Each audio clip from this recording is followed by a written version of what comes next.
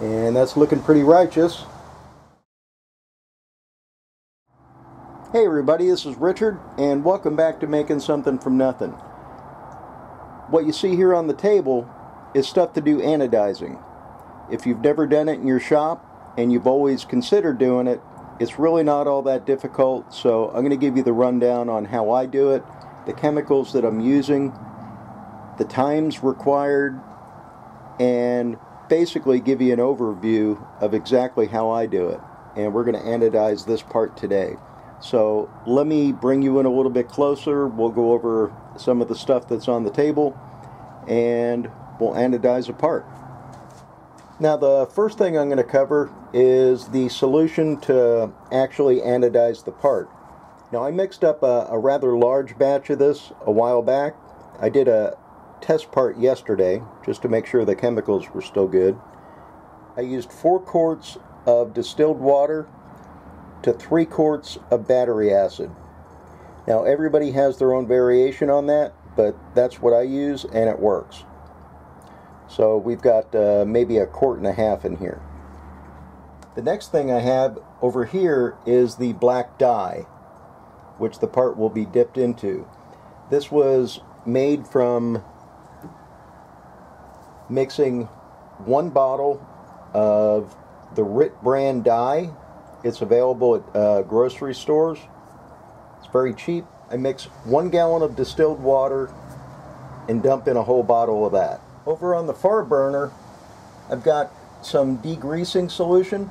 That's just simple green mixed with uh, some distilled water.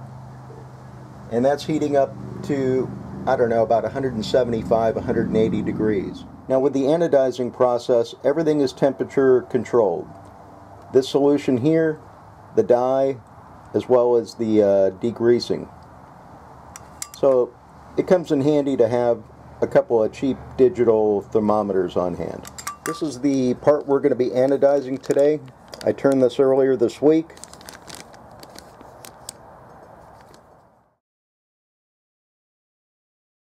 What you're looking at right here is two cathodes. The current's going to run in between those and your part's going to be suspended in the center. And they're just connected with an aluminum wire. So that's going to sit right in that tank just like that. So here's our part to be anodized. And what we need to do is, in order for the electrical connection to be good, I've got an aluminum wire this is an aluminum quarter 20 thread that I've got going into the side of the part. And I'm just going to put this thumb screw on and tighten it down. This section of the part is going to be turned down after the anodizing.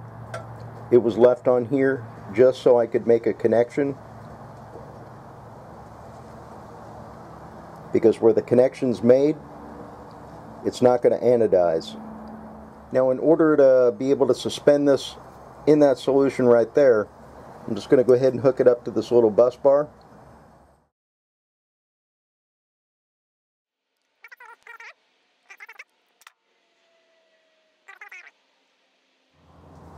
The most important thing about anodizing is the part must be totally free of grease, fingerprints, everything. So what we're going to do right now is I'm going to go ahead and hit this first with some brake cleaner. Now it's very important not to touch this part after this point. So after the brake cleaner I'm taking uh, some simple green in case the brake cleaner left any kind of residue. Now this is distilled water. So we're going to go ahead and rinse this guy out. Now we're going to move over to the hot plate and we're going to drop this in some simple green that's heated up to about 185 degrees.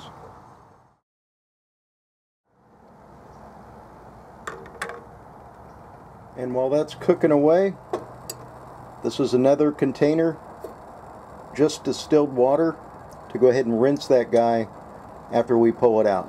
Well, just to make sure I wasn't trapping any air during the anodizing process, I went ahead and flipped the part to where it's sitting vertical like that.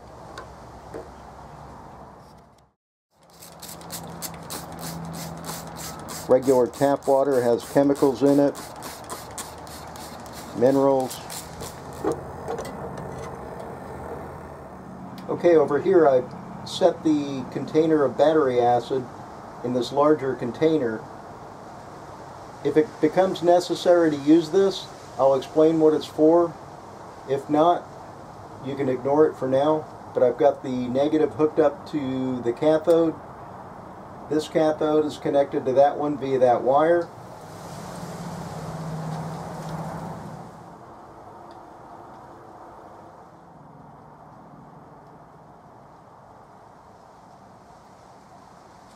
Okay, our wires are hooked up. I'm going to set this on 2 amp, 12 volt, and plug it in. Now we're going to let this sit at 2 amp, 12 volt for 15 minutes. Then I'm going to swap it over to 6 amp, 12 volt for 40 minutes. I'm not sure if you're going to be able to see, but we've got bubbles coming off uh, both the cathodes, which means we've got good electrical connection.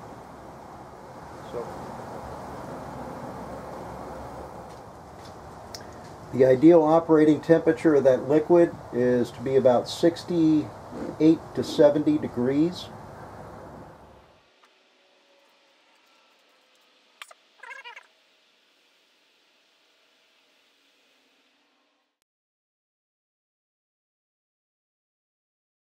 but it's putting out some nasty fumes and you don't want to do this in a, an enclosed space. I'm out here in the shop and as a matter of fact I'm going to go ahead and X-nay it out of here and come back in 15 minutes and swap over the, uh, the battery charger.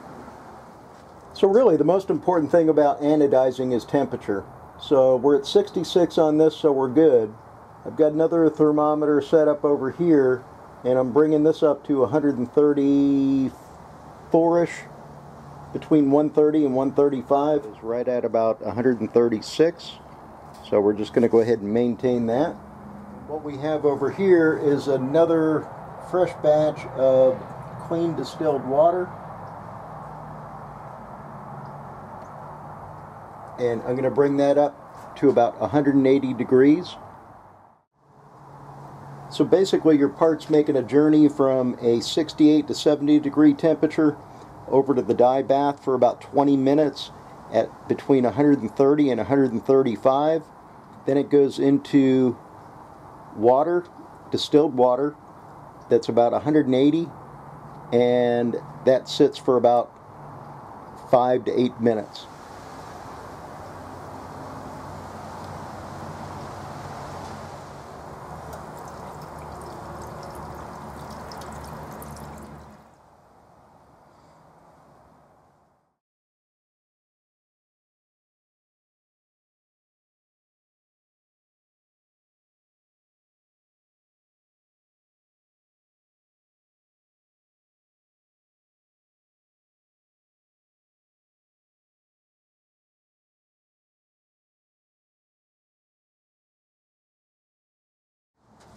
The cool water bath kept us uh, right around 67, so that worked out good. Take our part out. Go ahead and rinse it in distilled water. You want to rinse the part off in distilled water so you don't contaminate the dye.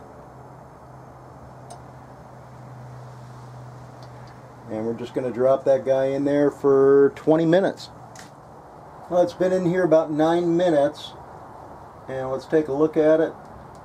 It's taking on a nice black color. Okay, our 20 minutes is up. So I'm going to go ahead and take this guy out. And that's looking pretty righteous.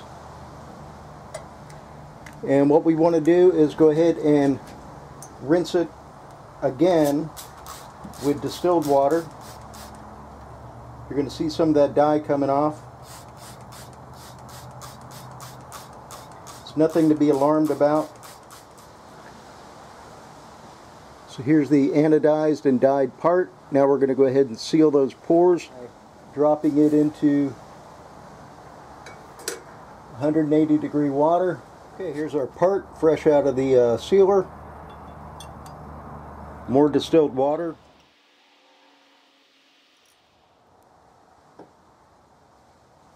Now sometimes the parts will have a chalky appearance. It's no big deal. All you do is you just wet a cloth and just give it a good wipe down.